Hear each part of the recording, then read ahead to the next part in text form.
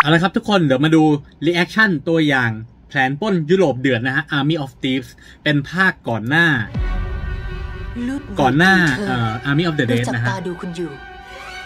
อยากชวนคุณมาร่วมทีม เอาละแซ็กซ์ไนเดอร์เป็นโปรดิวเซอร์นะฮะโกบาดในอเมริกาใช่ไหมที่ทำให้คนกลายเป็นปีศาจกินเนื้อคนนะนะอืมครับก็ได้ยินมาบ้างโลกกำลังไม่สนใจใคร จังหวะนี้ไม่ใช่แค่โอกาสเดียวของเรา แต่ของคุณด้วย โอกาสเดียวงั้นเหรอ โอกาสอะไร สร้างชีวิตที่ไม่ธรรมดา จะมีการปล้นอีกครั้งหนึ่งนะฮะปีนี้มา Netflix จะมาด้วยอะไร โอ้โห คือไม่น่าจะเป็นหนังซอมบี้นะครับ แต่น่าจะเป็นหนังปล้นนะ action กระจุยกระจายเลยอะ โอ้โห พบกับกองทัพ ก่อนคนตาย โอเคงานนี้คืองานน่าจะเป็นเรื่องของคนเป็นทะลุทะลวงต่อสู้กันนะฮะ อาร์มี่ออฟตีฟนะฮะ โอเค มีเยอะเป็นร้อยเลย มา Netflix นะครับผม อ่า เร็วๆนี้นะฮะ ก็เอ่อเป็นภาคก่อนหน้าที่จะถึงไอ้หนังซอมบี้ของ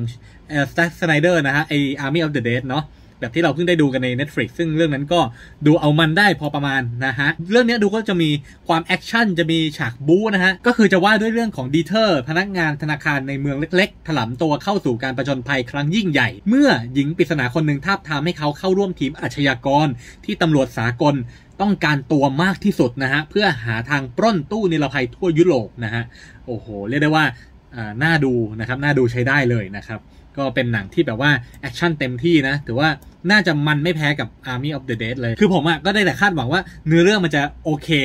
ดีกว่า Army of the Dead นะเพราะว่า Army of the Dead เนื้อเรื่องมันแอบป่วยๆ นิดนึงอะ่ะอีอย่างว่าเยอะไปนิดนึง แต่เรื่องนี้ดูแล้วก็รู้สึกว่าน่าจะเข้ารูปเข้ารอยมากกว่านะฮะ ยังไงก็รอดู แต่ว่าเรื่องนี้ก็คือคุณ Zack Snyder เนี่ยเขาไม่ได้กำกับเองเนาะเขาเป็นโปรดิวเซอร์นะฮะ แต่เรื่องนี้รู้สึกว่าคนที่เป็นนักแสดงนำก็จะควบตำแหน่งทั้งนำแสดงและผู้กำกับเลยนะครับก็รอดูนะฮะ เออ น่าสนใจมากแล้วตัวอย่างเป็นภาคไทยด้วยเออนะฮะเอาใจคนไทยน่าดูเลยนะ ยังไงใครที่อยากจะดูก็ติดตามใน Netflix นะครับผมก็เดี๋ยวจะฉายกันเร็วๆนี้นะครับ โอเค ใครที่ชอบ reaction หรือว่าชอบรีวิวของผมก็อย่าลืมกดติดตามช่อง